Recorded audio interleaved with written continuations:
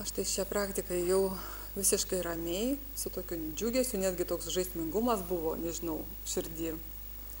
Turėjau lūkesčių iš tikrųjų kad turiu tris paras daug medituosiu tai visas praktikas pakartosiu kokias prisimenu. Žodžiu programą turėjau didelę bet kaip ir inga sakė to neįvyko iš tikrųjų. Pirmą parą tai buvau tokiam pusiau sąmoningoj būsenoj tai miegojau nemiegojau nesuprantu irgi kas vyko tiesiog buvau be minčių be nieko.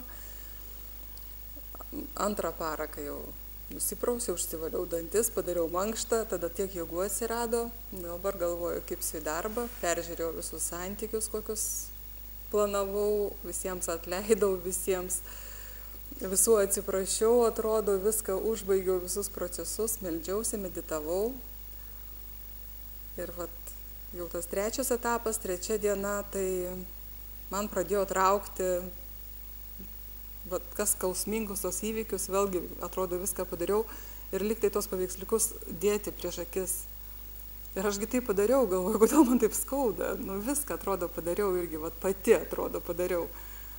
Ir supratau kad vėlgi prašiau padėti iš tų iš tos situacijos išeiti ir supratau kad praeitį reikia paleisti ir sąmoningai būti čia ir dabar.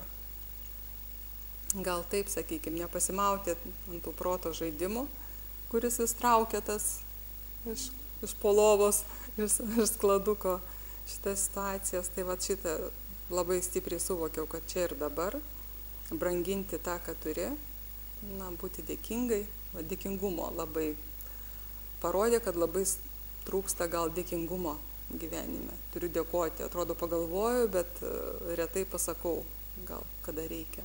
Dėkingumas ir yra susitaikymas iš tikrųjų kada to neprieštarauji kada tu nedėlioji etikečių kada Va. tu dėkoji tu priimi. Priimi tai reiškia neturi prieštaravimų ir atsiranda pusiausvyrą. Tada tu su dievu.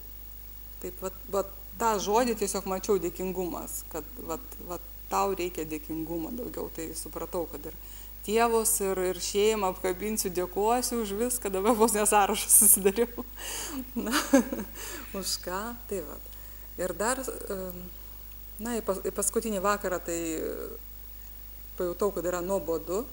Na tas atsirado žodis toksai bet vėlgi susitaikiau permąsčiau kad viskas yra gerai ir dar ką išsinešu iš šios praktikos kad neturiu jokios baimės. Pagalvojau kad aš nieko nebijau. Nu va tiesiog pagalvojau apie darbą pagalvojau apie santykius dabar galvoju nu nieko nebijau kas galėtų atsitikti na. Gal tokia. O dar kaip sakant kas susigulės tikriausiai daugiau visko bus dar patirčių